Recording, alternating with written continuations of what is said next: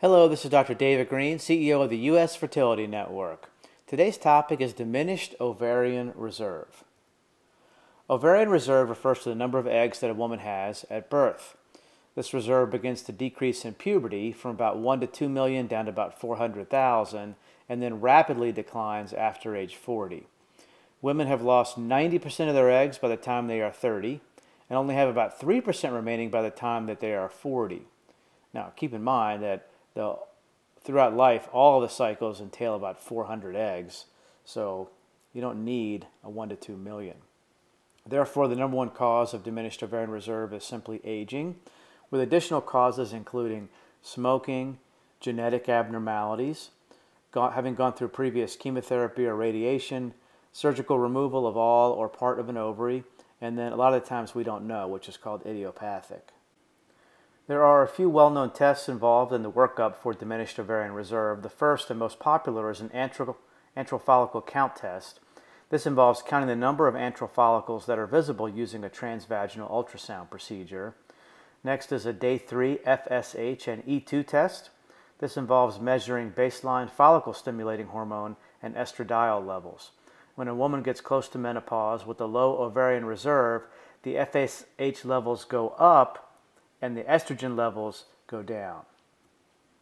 A clomiphene challenge test involves having the woman take Clomid and then assessing the FSH level. And the anti-Mullerian hormone um, is used to evaluate the ovarian reserve. It, the blood levels of AMH are thought to reflect the size of the remaining egg supply, and that's a blood test. So what are the treatment options for diminished ovarian reserve? The first is called ovarian hyperstimulation. This makes use of hormonal tablets or subcutaneous injections to trigger the body to produce as many mature eggs as possible each cycle to hopefully increase the chance of conception. With pelvic ultrasounds to monitor the progression of the eggs and blood tests, your fertility doctor can know exactly when your eggs are ready to be inseminated with your partner's or donor sperm. IVF is also an excellent option after failing ovarian hyperstimulation, this is recommended, and it may be that you try the ovarian hyperstimulation a couple times. IVF seeks to stimulate multiple eggs per cycle, hopefully improving the chance of finding a good egg. Now, if traditional IVF is not working, then you can try egg donation with IVF. So this treatment uses another couple's unwanted frozen embryos to help the patient become pregnant.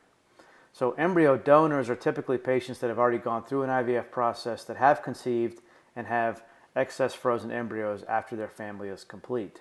Okay, so this can be very beneficial and avoid the whole uh, process of trying to use the woman's um, own eggs.